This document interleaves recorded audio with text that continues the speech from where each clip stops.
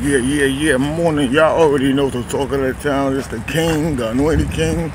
It's just that dude that, you know, that you gotta watch, man. Real talk. you know, when you start to awaken to life, not awaken, like I said, so, oh, I was this and that. That don't make sense. Uh, if, you weren't, if you weren't awakened then, you won't be awakened now. But when you start to awaken to life itself and what life really is, you know, you just see the reality of life, you know, the reality of what we all pretend we don't do to each other and we do it every day. We use words like entertain and this and that. You know, when, um, when you look, right, you look on the social media stuff, you say, you know what? People are entertained by me, I'm entertained by them. You know, and they entertain ideas into you. Not they don't want you to do the idea, because if you do the idea, then you're not gonna pay them any mind. You know, and vice versa.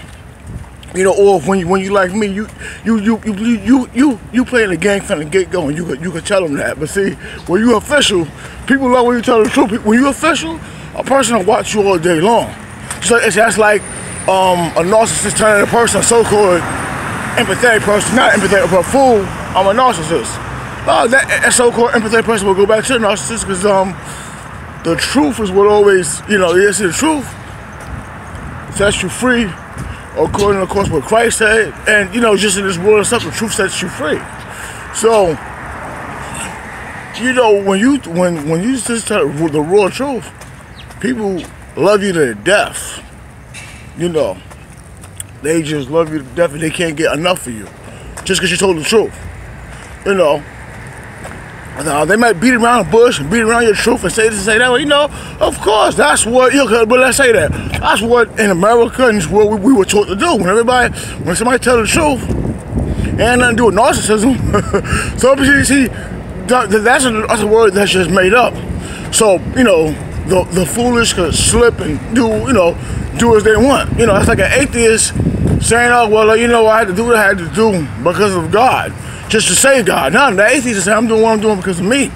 Now, me personally, I'd say you're doing it because of the Most High God, but, you know, I mean, still at the same time, God not going to force nothing on you. So atheists will do it on their own just like anybody else.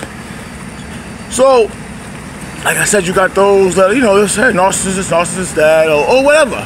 You know, it's always a blame. Oh, well, I didn't do this, I didn't. But I'll tell you like this. When I'm disrespectful, oh, my father taught me better, my mother taught me better.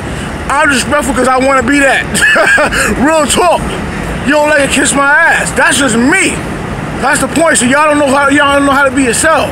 Stop blaming stuff on other people. Right? Stop blaming stuff on other people. See, I was taught to be respectful. I'm disrespectful because